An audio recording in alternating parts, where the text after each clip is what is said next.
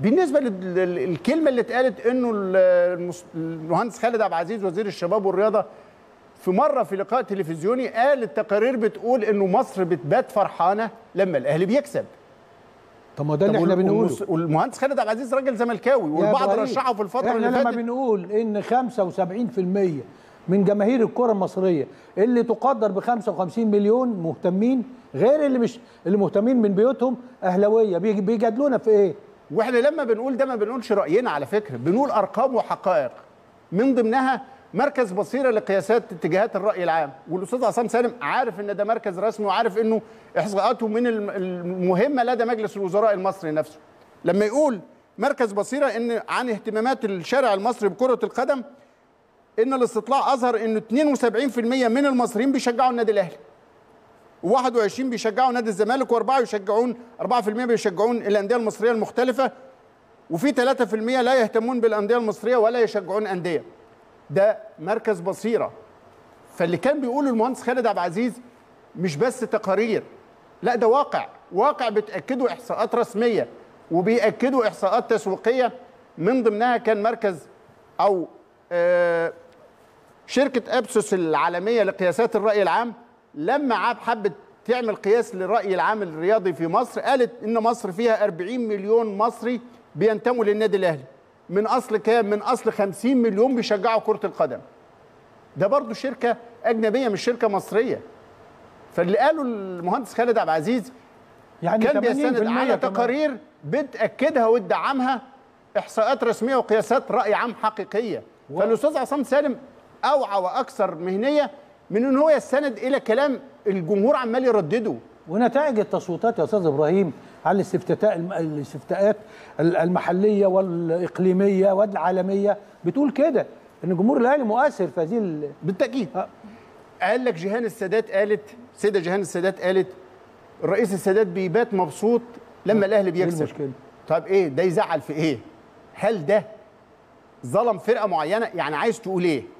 لو كنت عايز تقصد إنه الفترة دي كانت البطولات كلها بتروح للأهلي عشان الرئيس السادات أهلاوي؟ لا أقول لك إنه في فترة الرئيس السادات اللي بدأت من 28 سبتمبر 70 وفاة الرئيس عبد الناصر إلى 6 أكتوبر 81 وفاة الرئيس السادات. خلال هذه الفترة مصر اتلعب فيها 8 دوري 8 بطولات دوري. لو هي الفكرة إنه كل بطولة لازم تروح الأهلي ارضاء للسيد الرئيس السادات الثمان بطولات دوري الأهلي خد ستة. بس الزمالك خد بطولة المحلة خد بطولة كاس مصر اتلعب ست مرات ولو حد عايز يجامل حد في الكاس أسهل من الدوري. مباراة واحدة بالنوك أوت وتمشي اللي انت عايزه. ستة كاس مصر اتلعبوا في فترة الرئيس السادات الأهلي خد أقل من الزمالك. عشان بقول لك يا أستاذ عصام ما ترددش كلام جمهور.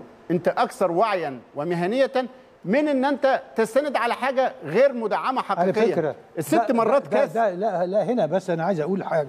بالطريقة دي هو ما بيرددش ورا الجماهير. الجماهير بتردد وراه.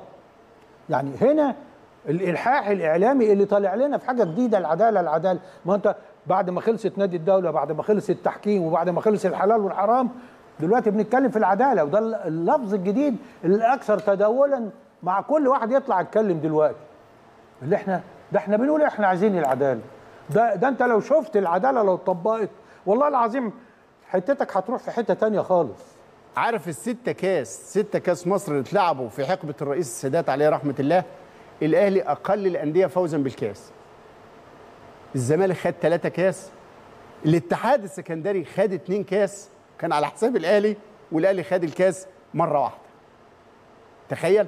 أيوة. الأهلي مرة يا عم. والاتحاد اتنين والزمالك ثلاثة ومع ذلك كان الرئيس السادات بيبات مبسوط لما الأهلي بيكسب. طبعا يبقى شفت يا أستاذ عصام؟ يعني ده اللي إحنا بنتمناه. إيه بات مبسوط دي؟ خلينا مع بعض. ما ندعمش هذه المشاعر السلبية عند الجماهير اللي بتزود الاحتقان وبتخفف على أي مسؤول إنه يصلح. في النهاية يا عم اسكت. ده كانوا بيعملوا كذا. هي دي للأسف. ده حجر الزاوية في الأزمة. الناس بترمي الكلام على أي شماعة وخلاص. لكن في ناس بتشوف من الغربال وبتعترف وبتطالب الناس إنها تمشي صح. ده كلام مهم جدا لناس كمان مهمة بعد الفاصل.